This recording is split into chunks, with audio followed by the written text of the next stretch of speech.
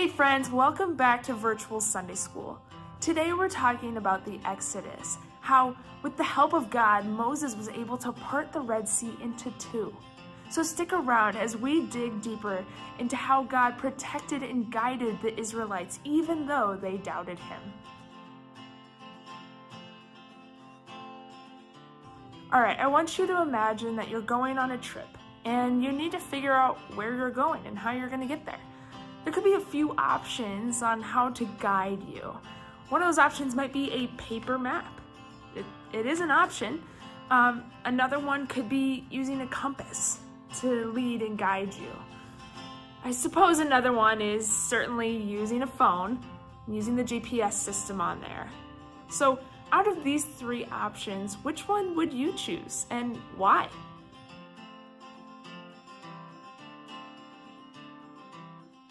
I suppose probably most of you chose the phone. I mean, that's how everyone does it these days, right? Although some people who are a little more confident might use a paper map or a compass, depending on where you're going and what you're doing. Well, let's take a listen to today's Bible story about the Exodus and the Israelites and see how God led them through the desert and led them away from the Egyptian army. Welcome back. It's Mr. Kurt. Welcome to Kurt's Corner. Today's reading is from Exodus 14. Then the Lord said to Moses, Tell the people of Israel to turn back and encamp in front of the Phi Haroth, between Migdol and the sea, in front of Baal-Zephon. And you shall encamp facing it, by the sea, for Pharaoh will say of the people of Israel, They are wandering in the land. The wilderness has shut them in. And I will harden Pharaoh's heart, and he will pursue them, and I will get glory over Pharaoh and all his host, and all Egyptians shall know that I am Lord.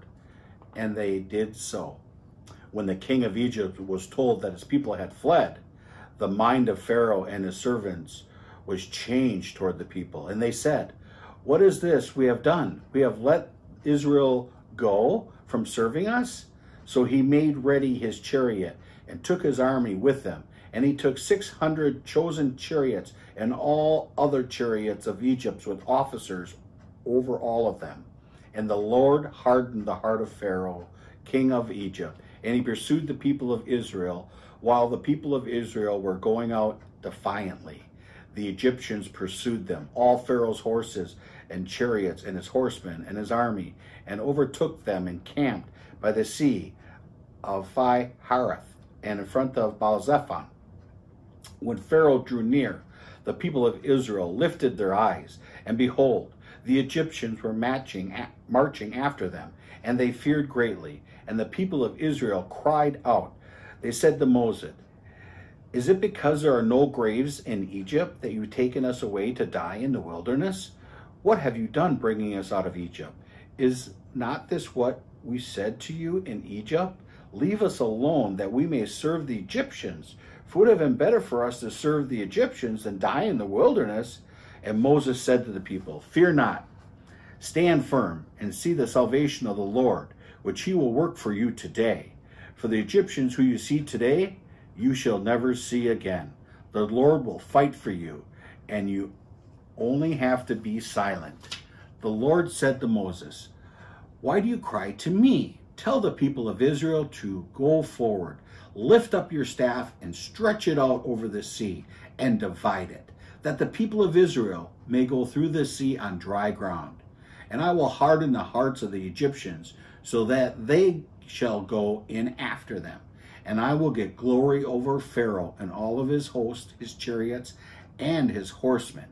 And the Egyptians shall know that I am Lord, when I have gotten glory over Pharaoh, his chariots, and his horsemen.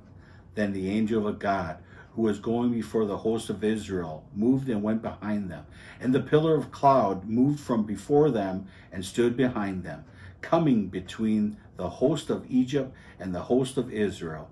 And there was a cloud and the darkness, and it lit up the night without one coming near the other all night.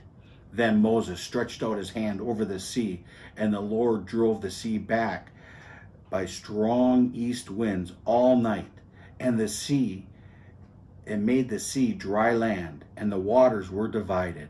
And the people of Israel went into the midst of the sea on dry ground, the waters being a wall to them on their right hand and on their left. The Egyptians pursued them and went in after them in the midst of the sea. All the Pharaoh's horses, his chariots, and his horsemen.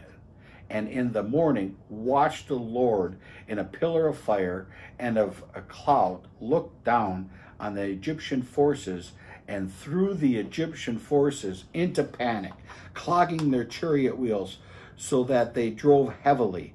And the Egyptians said, Let us flee from before Israel, for the God fights for them against the Egyptians. Then the Lord said to Moses, Stretch your hand out over the sea, that the water may come back upon the Egyptians, upon their chariots, and upon their horsemen. So Moses stretched out his hand over the sea, and the sea returned to its normal course when the morning appeared. And as the Egyptians fled into it, the Lord threw the Egyptians into the midst of the sea.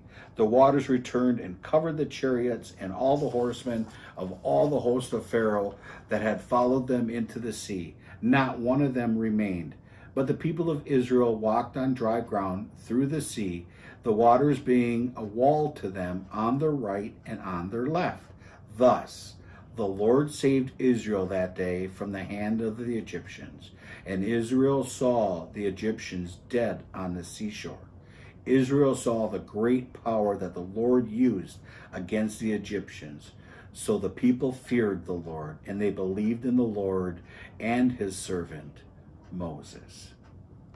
All right, so there's a few things I want to talk about today in regards to the scripture reading that Mr. Kurt just read.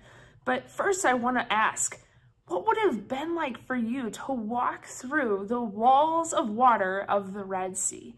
Put yourself in the shoes of the Israelites and think, what would that have been like?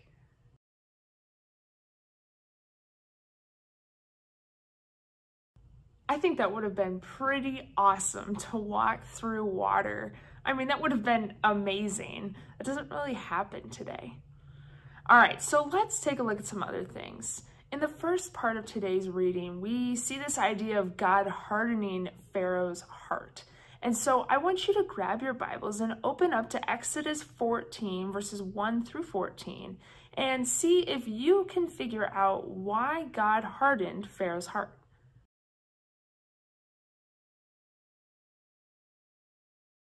Pharaoh certainly did a bit of work on his own um, in hardening his own heart, but God also hardened it a bit more. And you'd think, why would God do that? Wouldn't he want to soften it, make it more loving?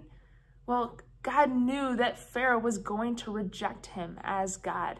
And so God used this as an opportunity to deliver his people, to teach them that he was the one true God. Now, there was certainly doubt in the minds of the Israelites. They didn't think God was going to pull through. They didn't think they were going to become free from the Egyptian army. And so, what sort of comfort did Moses give them? And what sort of comfort does God give us today?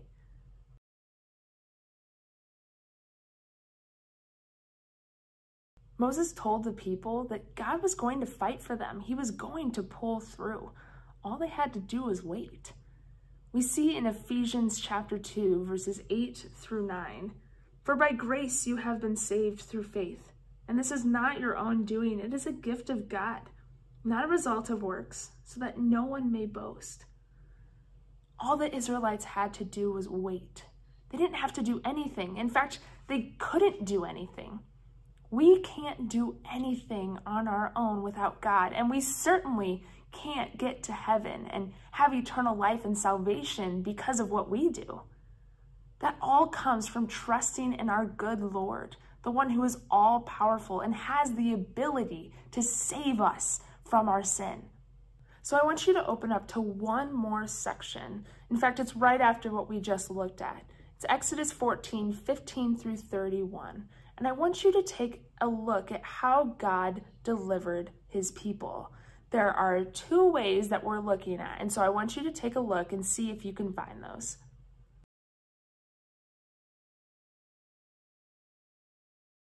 One of the ways that God delivered his people was by providing a pillar of cloud and a pillar of fire to guide them on the ground while they were crossing the Red Sea.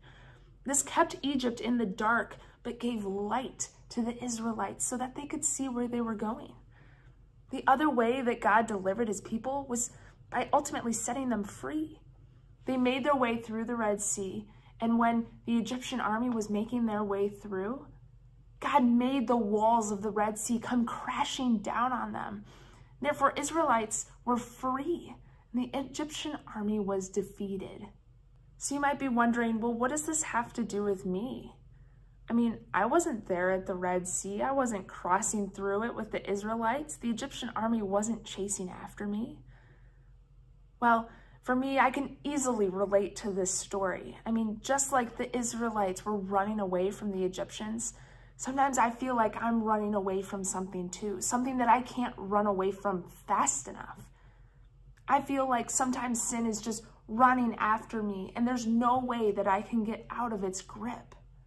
And also like the Israelites in how they didn't fully trust God, sometimes I have a hard time fully trusting God, fully trusting that he is there for me and with me and present in my life. Well, I want to promise you that even though sometimes we doubt God and feel like He isn't there, He is. There's not a single time in our life that God has left our side. I mean, He is with you right now. He's with me right now.